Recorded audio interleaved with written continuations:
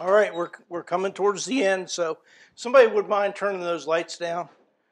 Um, it, as Ray said, a, a, lot of you may be coming back to the farm, and or you may have purchased a new farm, and and you're at a point that you've got to try to figure out how to bring these pastures back into good shape, and um, and, and improve those. And that's kind of what this talk focuses on: is kind of getting the fundamentals down for for really bringing those pastures back to a productive state. And um, so the title is Re- Rejuvenating Rundown Pastures, an integrated approach to st- restoring pasture productivity. And, and, I will mention my email's on there, and, and you're welcome to call us anytime. We always encourage you to go through your extension agent, though, if you can. Um, we've got some great extension agents throughout the state, and uh, and we like to work through our extension agents if, if possible. All right, so the first question I always ask is how, how did you get where you're at? You know, why, why do you lose stands? And there's lots of different reasons too much or too little water. Maybe you have poor fertility or, or really low soil pH. Poor grazing management, poor mowing management if you're in a hayfield or, or, um, or a dual use area. Poor choice of forage species. We kind of talked about that yesterday, right? You can plant whatever you want, but but really, if you want something to be persistent, it's got to be adapted to where you're trying to grow it at. And then we've got weeds, and, and we often talk about weeds taking the pasture over, and, and I've got a question mark behind that because often weeds are a symptom of an underlying problem and that problem may be grazing management, it may be fertility, but somehow there's a hole in that pasture. And, and the good Lord doesn't leave a piece of bare soil on a pasture very long. Something's going to grow there. In, in, in many cases, it's a weed. And then we have intermittent problems with uh, insects like fall armyworm and, and then diseases in some of our forage species, especially the ones that are low marginally adapted. So the, the point that I want to make from this is that it's, it's usually just not one of these. Often we say this, the drought killed my pasture. Yeah, maybe, but it was kind of like the, the straw that broke the camel's back. So I've had years of poor grazing management in my pasture, and, and then um, I've got poor soil fertility, so and then a drought comes along and, and my pasture dies. Well, the, the drought was kind of the thing that killed the pasture, but really what set it up for that death was the poor management prior to that drought. In most cases, drought is not going to kill a well managed cool season pasture in this region of the country if it's well managed going into that drought. The first thing we always think about when we talk about pasture renovation is reseeding that pasture, and that's really kind of on the bottom of my list. There's lots of steps that we need to take before we get to that point where we're actually going in and, and reestablishing that pasture. So this is kind of the integrated approach to pasture renovation. And um, it starts with soil fertility. If, if we don't have a base level of soil fertility in our pastures, it's really hard to have a, a good, strong, and vigorous sod. And, and Mr. Hall just talked about that, how important that fertility is. And that, that takes time to build up. It's, it's not something that just happens overnight. And then we want to choose well adapted forages for our grazing system and when I say well adapted, I mean it's got to be regionally adapted, but also adapted to the specific soils on your farm. Just because Mr. Hall can grow alfalfa doesn't mean you can grow alfalfa on your farm. You may not have the soils that will support alfalfa. Um, and then we've got to look at grazing management. How can we improve grazing management as part of our renovation program? And then talk about overseeding legumes. And, and that example of frost seeding red clover into your pastures is, is an outstanding example for overseeding legumes into your pastures. Legumes are an important part of grazing systems. Um, and then on the bottom of my list is, is going in and doing a complete renovation. And, um, and, and usually that would be um, the last thing that I would want to do if you don't correct everything else first, your soil fertility and your grazing management, um, it's going to be really hard for you to reseed something and then have success with it. So let's start off with uh, soil fertility. And I always like to kind of define what a soil is. You know, if you've ever had a soils class, what do we talk about with soils? We say, well, they're they're made up of sand, silt, and clay. And then we measure chemical things in them, right? But really, a soil is a dynamic natural body composed of mineral or organic solid gases, liquids, and living organisms. We don't talk enough about the living organisms in soil. And, uh, and all those things together serve as a, a growth medium for plants. If we look at an acre of healthy pasture, what we find, if we look at below the ground, we've got about seven tons of living things per acre.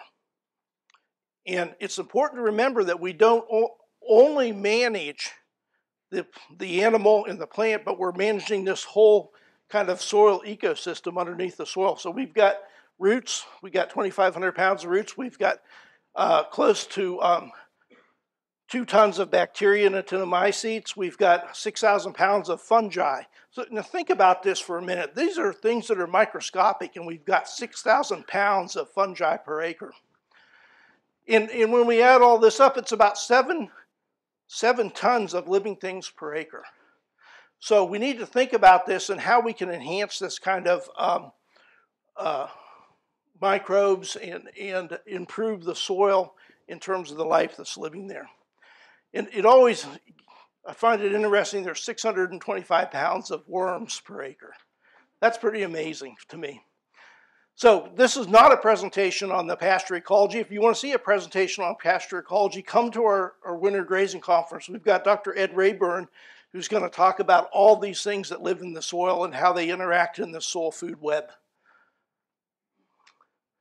Okay, whenever I start to talk about soil fertility, I like to talk about a basic principle, it's called Liebig's Law of the Minimum.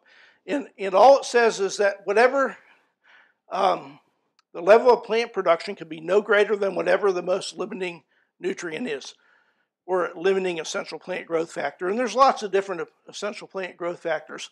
There's nutrients like potassium and nitrogen and phosphorus. There's soil acidity can limit plant growth. Soil moisture, if it's real dry, we're going to limit plant growth. Temperature, and the list goes on and on and on. What Liebig's law says is whatever the most limiting is, is going to hold back overall pasture production. Why am I telling you this? I'm telling you this because when we start to think about a soil fertility program for our pastures, we need to be thinking about it from a balanced approach. We can't pick and choose only to supply nitrogen or only to supply potassium or only lime our pastures.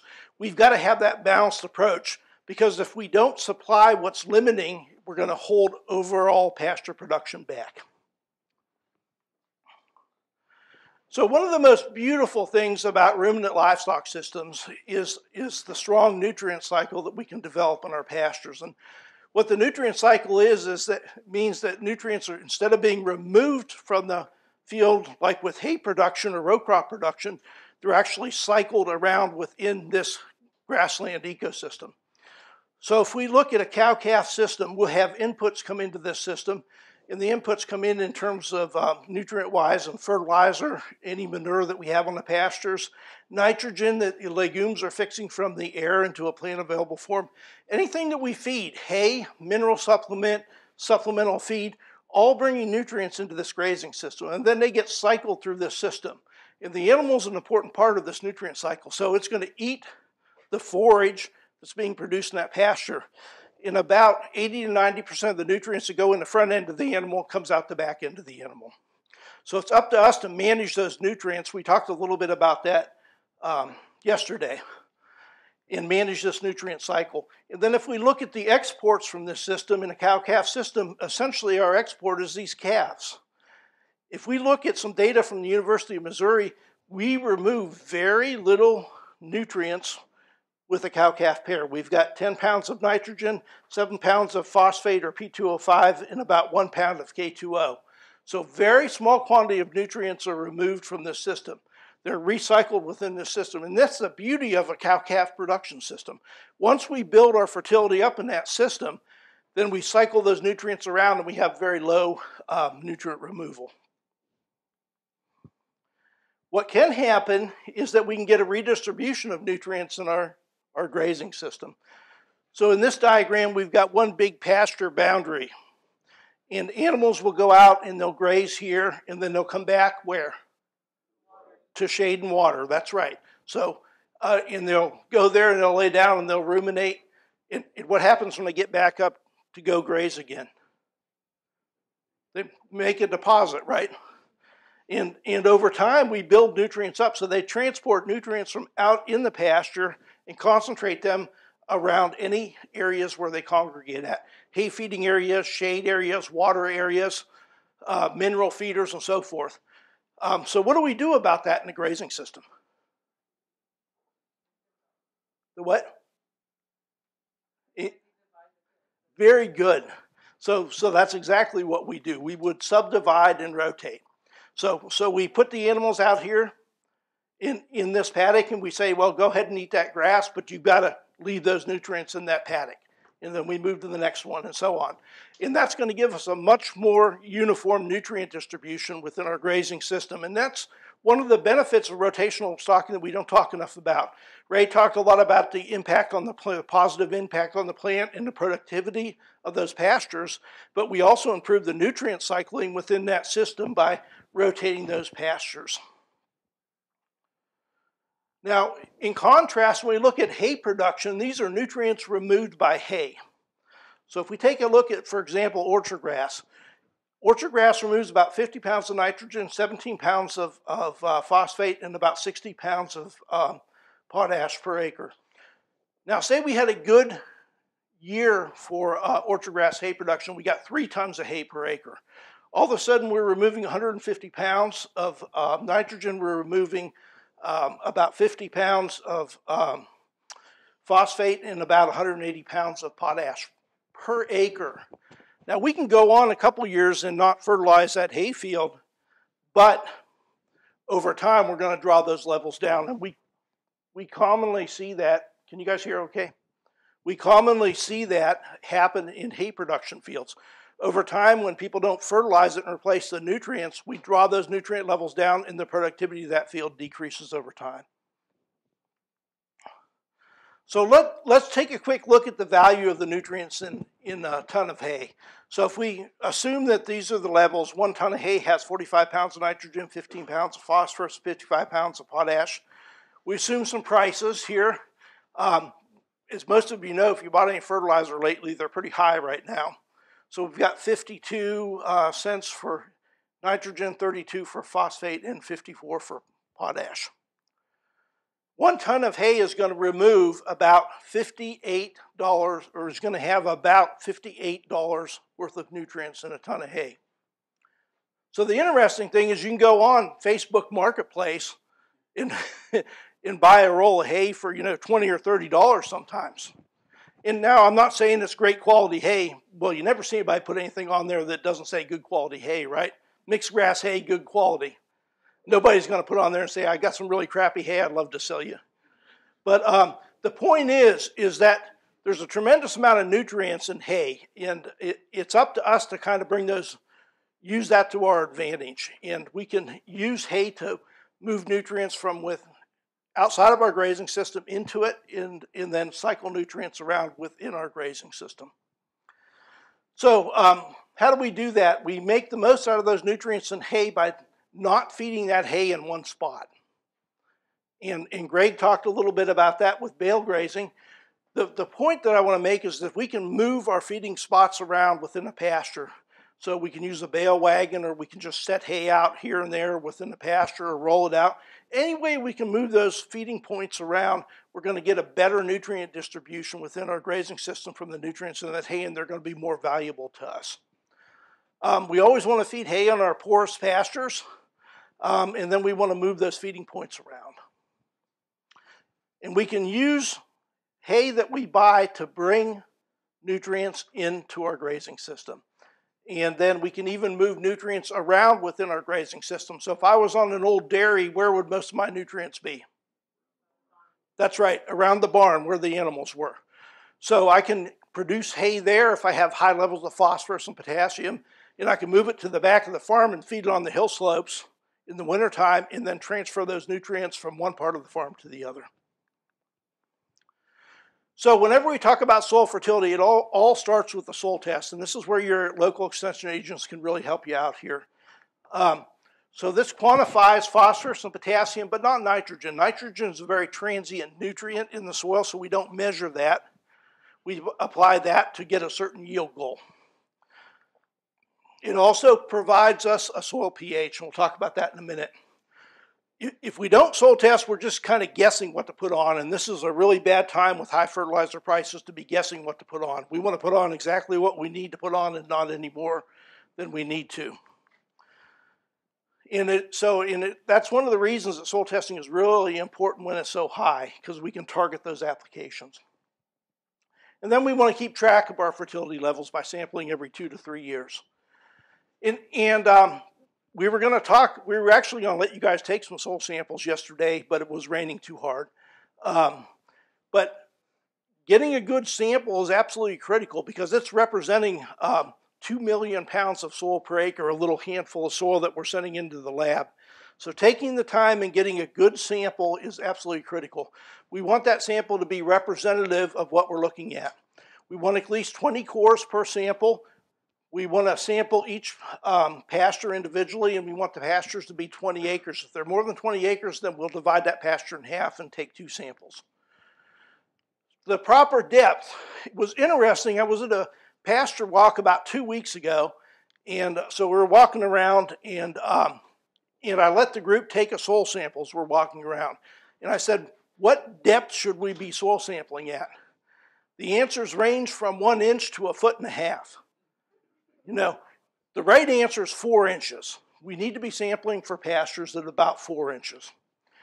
And um, we want to avoid atypical areas when we're sampling. So what's an atypical area? Areas where animals congregate at water areas, feed areas where we fed hay at, those kind of areas, shade areas, we want to stay away from those areas because they're going to give us an elevated soil test level because there's a lot of nutrients that get concentrated there.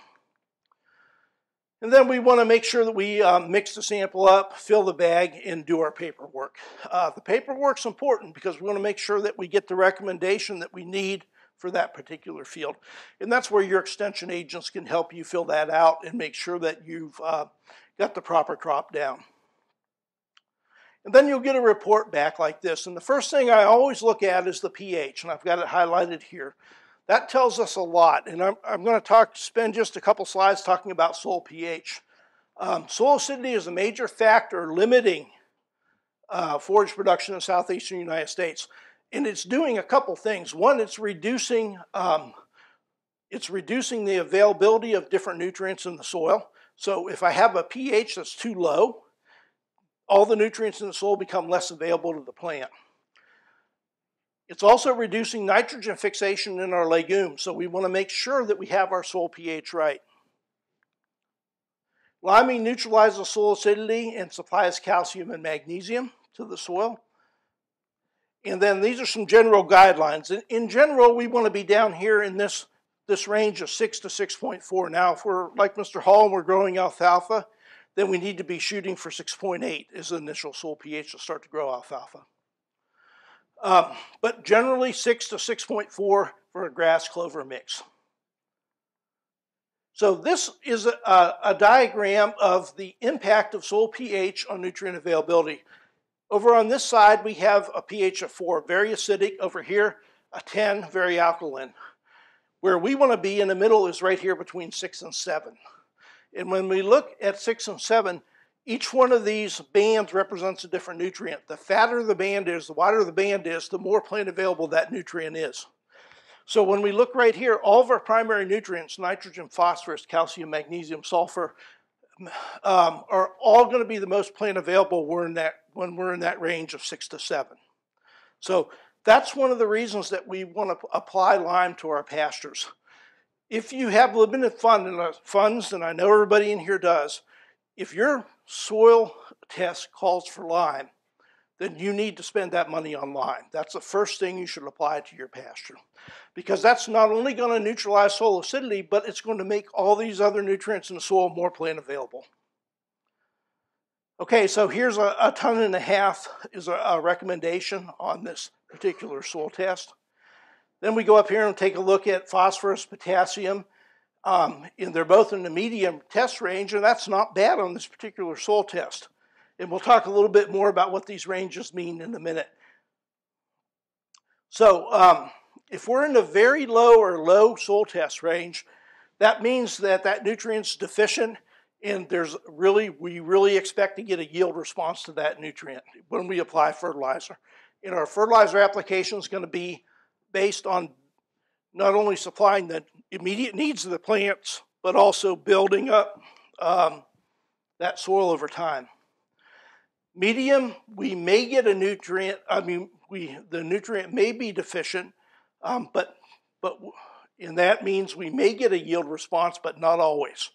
Generally speaking, if fertilizer prices are high and you're in that medium soil test range, then you should probably hold off till they come back down.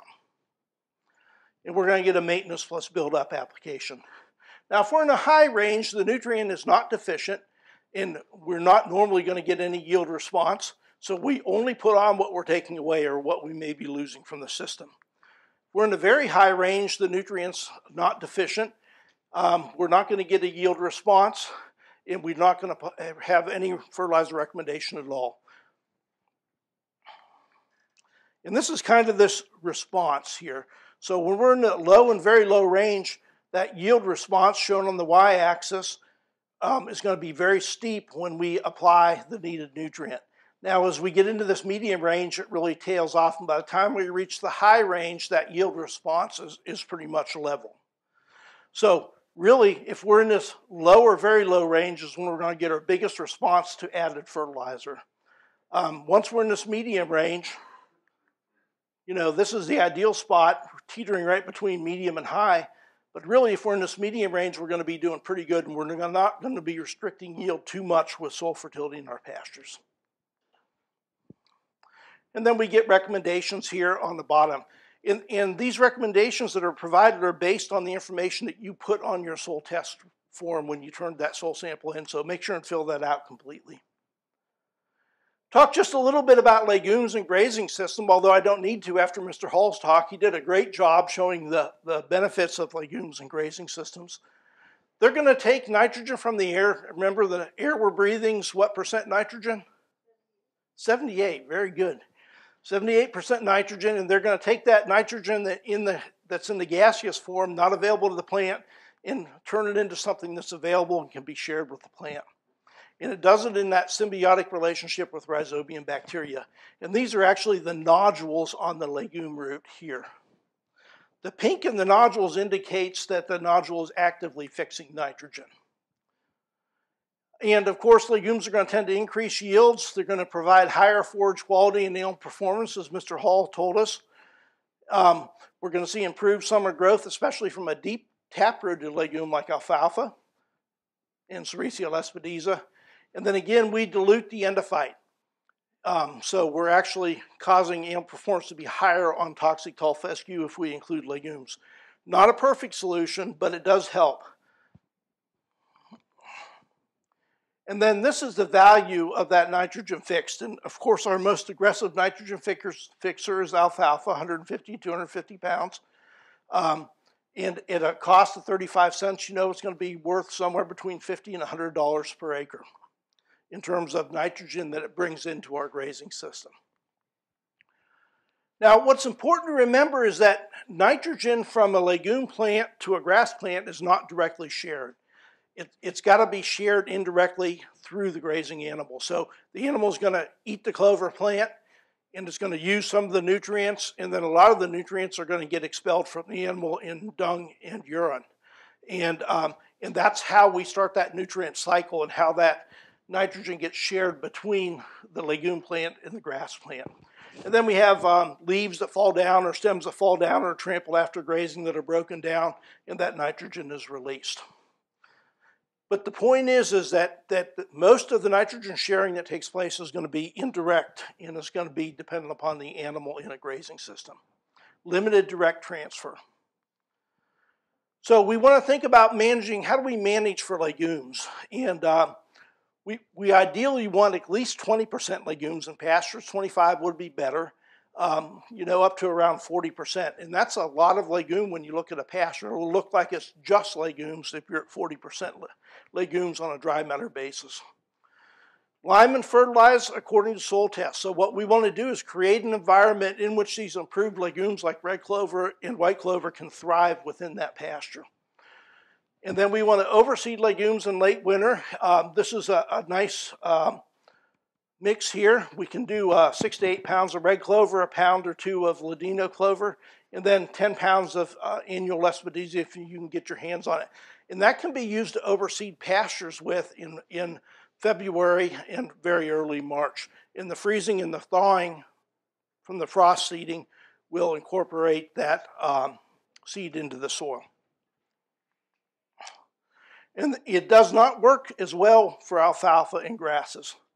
And then we want to rotationally stock our pastures. And you're probably saying, well, why do we care about rotational stocking? Well, as Ray showed yesterday, um, how we manage that grazing uh, can impact the botanical composition of that pasture. So how close and how frequently we graze that pasture can create an environment in which those legumes will have an advantage or disadvantage within that system. All right, use only adapted forage species. And we talked a lot about forage species yesterday, and I'll just review the basics. I'm not going to go through a lot of forage species, but number one on the list of characteristics to look for is you, you want it to be adapted to where you're trying to grow it. Adapted to the region and then to the soils that you're trying to grow it in. So alfalfa is a great forage, but, but it's not for a river bottom where it stays wet half the year it can't stand those wet feet. So we need to, to make sure that where we're trying to grow that forage, that uh, the soils are adapted also. And these are, again, are just the growth curves of some of the adapted forage species that we have when we've got cool season grasses and warm season grasses. And you can kind of see here how they would fit together nicely into a grazing system. We have a bimodal forage distribution here, a hump in the spring, hump in the fall, uh, of growth in the fall with our cool season grasses like uh, bluegrass and orchard grass and fescue. If we go down here to the bottom to our warm season grasses, all that growth is concentrated right in the middle of the summer months. And that would fit nicely together into a grazing system as we talked about yesterday. So let's just talk a little bit about grazing management. And, and grazing management is really about helping these guys make the right decision when it comes to grazing. Sometimes they don't make the right decision if you leave them uh, do their own grazing management. So again, rotational grazing. Um, what we're doing with rotational grazing is we're managing the residual leaf area. So um, like Ray and Mr. Hall talked about how close we graze that plant down. If we graze it all the way to the soil surface, we remove that ability of the plant to capture sunlight and regrow. Um, so we want to leave some residual leaf area. Four to five inches for cool season grasses would be, would be ideal and will allow that pasture to regrow very quickly. Um, so we want to really leave plenty of leaf area. The second thing we manage with rotational stocking is carbohydrate reserves in the plant. And we do that by resting plants between grazing events. So we want to allow that plant to rest, regain its leaf area, recharge its carbohydrates wherever it's storing them in the stem base or in the root system of the plant or in the rhizome or the stolon. And that's going to allow that plant to grow faster after the next defoliation event takes place. And then we can use that rotational grazing to manage botanical composition. So if I had, say, a mixture of white clover and um, orchard grass in my pasture, and my orchard grass, I mean, my white clover was starting to take over, what could I do to, to promote orchard grass growth? You got to answer this question to pass the grazing school. What could I do? We could raise our grazing height, right? So if we raise our grazing height, we tend to favor that tall growing grass within that mixture. Grazing management's a powerful tool when it comes to managing botanical composition of pastures. How close and how frequently we graze that pasture can impact what species are dominant within that sward. So that's really important to understand. Just talk a little bit about implementing rotational stocking. And, and um, the, the first thing on my list is you have to go into it with the right attitude. Don't, don't do it because Ray told you to do it, or Jimmy told you to do it, or your NRCS guy told you to do it. If you go into rotational stocking or rotational grazing and say, well, this is never going to work, what's the chances of you being successful? Pretty slim, right? You're going to have problems and, and you're going to have roadblocks and droughts and floods and so forth. But if you have the right attitude, you kind of find your way around those roadblocks. No two seasons are ever going to be the same. Um, when we talk about implementing controlled grazing, water's key, as Jeff talked about this morning. So getting it in the right place, having water that allows that's going to allow you to subdivide and manage those pastures. Without water in the right place, it's very hard to implement rotational stocking. And then again, we're managing residual height and rest period, and that's going to improve not only the productivity of that pasture, and we talked a little bit about the impact on you know, performance, but also the drought tolerance of that pasture. We don't talk enough about that, but one of the first benefits people see when they switch from a continuous to a rotational stocking system is that their pastures grow longer into a drought and come out of that drought faster. And the reason is, is that what we do to the top of that plant impacts what's below the ground. So if we abuse the top of that plant constantly, we're going to have a very small root system, and that root system is going to be much more susceptible to drought stress. If we go into that drought with a strong, healthy root system and, and lots of stored carbohydrates in that plant, that plant is going to be able to weather that drought much better. Um, again, we improve nutrient cycles with rotational stocking um, because we're getting a better nutrient distribution within our pastures. And then um, we're managing, we can manage botanical composition with grazing too. Now, people get kind of stuck on having to move animals every two days or three days or four days. And, and there's really too much emphasis placed on that. Ideally, we'd be moving animals a couple times a week would be the ideal situation. But if you work off the farm and you want to move animals on Sundays, then you need to set your system up so that you move them on Sundays after church. So that system has got to meet your wants and needs. And, and um, one thing that I stress when we think about setting a grazing system up is don't go out and put a bunch of permanent fence in. You, you want to make sure that what you're putting in is going to work for you first. And that temporary fencing and temporary water can really help you do that. You want to make sure that you build flexibility into your grazing system. So when you put a watering system in, don't put it in for what you want to do next month. Put it in for what you want to do next year or in two years or three years or four years down the road. So it's really important that you think of ahead and build flexibility into that watering system so that you can intensify your management if you so desire in the future. Okay. Can't remember how many more slides I have, but we'll wrap it up pretty quick here. So just uh, mention weed control in pastures, and I'm not the weed control guide. Um, Dr. Green is our weed control specialist. But, but I will mention that what, what is a weed in a pasture? Yeah, that's exactly right. That's the definition I like. You know, if I can't get a cow to eat it, then, then that's the weed in my pasture, right? So um, a lot of weeds can actually be fairly high in nutritional value when they're young. So, and, they're like any plant. As a forage plant matures or as a weed matures, it becomes less palatable and um, lowering in forage quality. So, um, weeds are what I call a species of opportunity. So, often we blame the weeds for taking our pasture over, but really they're a symptom of another problem in most cases. Could be poor soil fertility, could be poor grazing management, but, but somehow we're making a space in that pasture, and in that space, a weed is growing. I call it the good Lord's band-aid. He won't let there be a space long in a pasture without something growing on it, and, and normally it's a weed, unfortunately. And again, like pasture renovation, we really need to think about weed control in pastures from an integrated approach. We need to think about why do we have those weeds? Is it our soil fertility? Is it our forage species that we chose? Um, is it the way we're managing our grazing within that pasture? And then the last thing on our, our list for weed control would be herbicide use.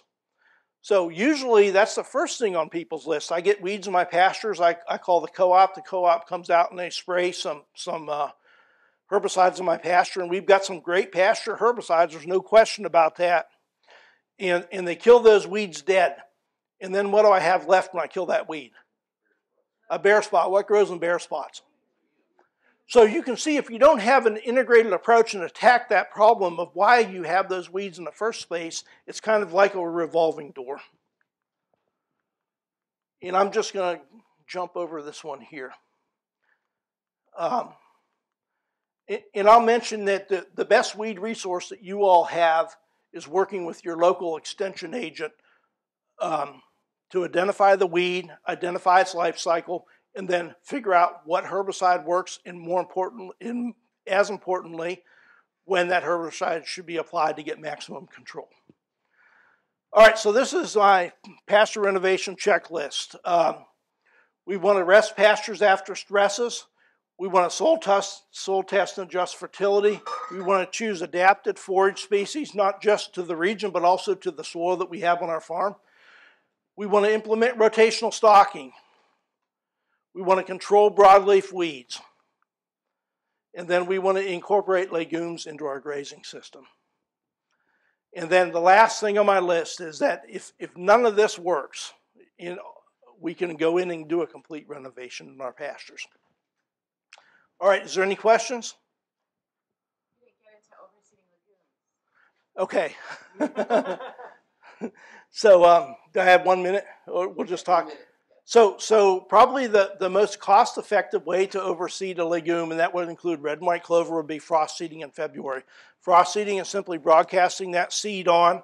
You can do it with an ATV or a little spreader on the back of the tractor. You want to graze those pastures closely. You want to make sure your pH is where it should be. Uh, your um, your fertilizer fertility levels are where they're supposed to be, and then broadcast that seed on. One mistake people make after they frost seed is that they take the animals off the pasture, and and um, and it's a mistake because it lets that sod grow up around those seedlings, and those seedlings that have just germinated, those little clover seedlings, are very susceptible for competition for light, nutrients, and water. And and when they, that sod or those existing plants grow around it, they can often cause a stand failure. The best thing you can do is leave animals on after you overseed those pastures and leave them on until they start to nip those little seedlings off. And then at that point, take them out and, um, and let those seedlings get about eight inches tall before you uh, come back into that pasture. Along that line, because that's kind of what I'm planning on doing with this, and it's my field, you're saying take it down fairly short, overseed, then when I put my animals back out there, maybe with a little bit of bale feed or whatever, because we're talking about February, March, That's right. So you'd feed some hay on those paddocks. okay, put a little bit of hay, and so we're gonna be out there stomping around, I'll move my bales around so that I don't have holes, and then let those get up to about six, feed some hay on those paddocks.